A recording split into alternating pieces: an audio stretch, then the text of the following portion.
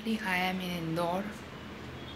This is this considered a food capital of India. And this is my hotel room window. Uh, you can get a very cheap room here in advance if you book at the Oyo hotels. So I'll just show you around the room. This is the room. And here is the cupboard where you can keep your clothes nicely. Hangers have been provided. A locker has been provided as well. Okay. So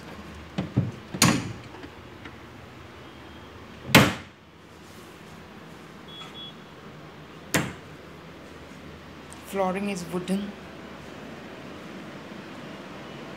This is the hotel menu. You can order from here. Is a reading lamp.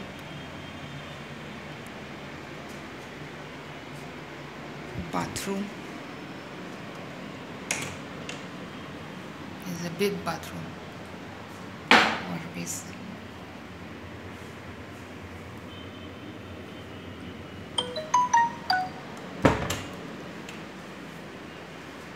a sitting area provided you can also dry your clothes and put your luggage out here and there is a TV a uh, table has been provided a chair and table. So this is the entry.